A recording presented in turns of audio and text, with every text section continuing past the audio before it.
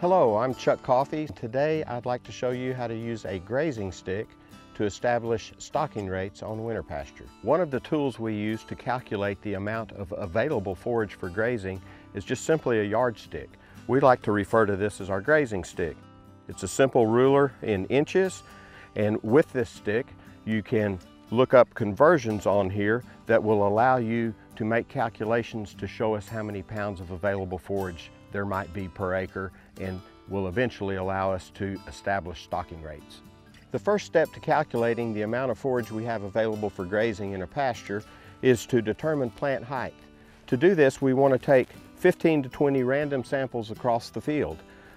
In this instance, the forage is laying down a little bit, so we want to make sure that we pull it up, place your stick to the ground, and determine plant height where the, the majority of the leaves are at their maximum height. And for this example, it's about 10 inches, and so we would make that recording and then continue to take another 15 to 20 samples across the field. Once we determine the average plant height across the field, we, we can then make the calculations that will allow us to determine the amount of available forage we have for grazing. For example, if the average plant height were 10 inches, we would simply subtract three inches because we always want to leave three inches of residual forage that we do not graze. So that would leave us with seven inches of available forage for grazing. We would multiply that by a factor of 150 pounds per acre inch to give us a little over a thousand pounds of available forage per acre for grazing. Once we calculate the amount of forage we have available for grazing, we will use this number to either calculate carrying capacity for a given length of time, or we will use the number to calculate the number of reserve herd days that we have left for grazing. Both of these calculations we will do in the office using our ag tools. One of them is our reserve herd day calculator. The other is our carrying capacity calculator. Hello, I'm Hugh Aljoe.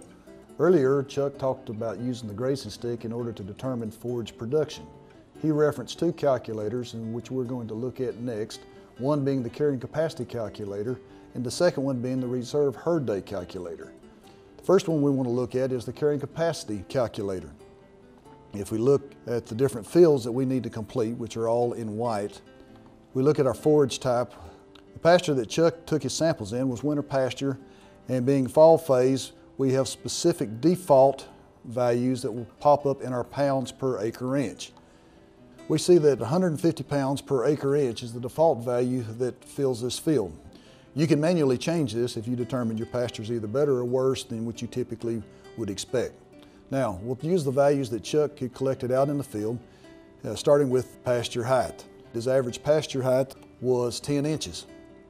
We'd like to allow for about three inches residual because we're not going to graze it completely We've already determined that our pounds per acre inch is adequate, and we go on to the number of grazing days. Between spring and fall phase, we'd like these cattle to go out to about uh, end of March. So from January 15th, which is today's date, to the end of March, that is approximately 75 days that we know that these cattle would be consuming this pasture. Consumption, since it's a high quality forage, we're going to put 3% of their body weight into this field. Our next field is the average weight.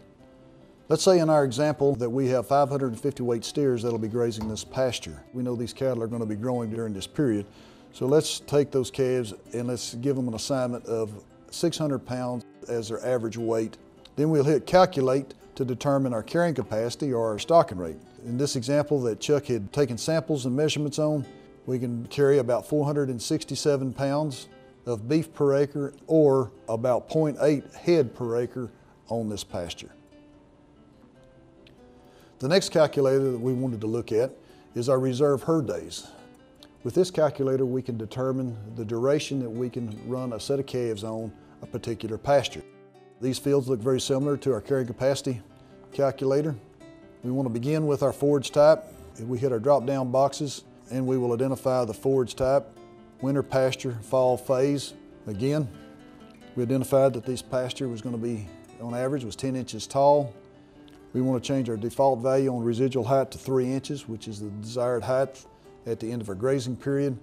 Chuck identified that the pasture that he observed was approximately 150 pounds per acre inch, which meets our default value. If in the field you determine that your pasture is better or worse, we can adjust this field either higher or lower. The next field that we need to complete is the number of acres. In the field that Chuck was in, there's approximately 80 acres of winter pasture available for grazing. In this instance, we have 60 head of calves that we know that are going to be consuming this pasture over this period of time. Again, as it is high quality, we're going to put 3% for consumption. And then our last field that we need to complete is the average weight. If the calves weigh 550 pounds, knowing that they're going to gain weight throughout this grazing period, we're going to add some extra pounds and put in 600 pounds for the period. As we hit calculate, we find that we have approximately 78 reserve herd days within this 80 acre pasture. The reserve herd day calculator and the carrying capacity calculator are just two tools that we use to better manage our pastures.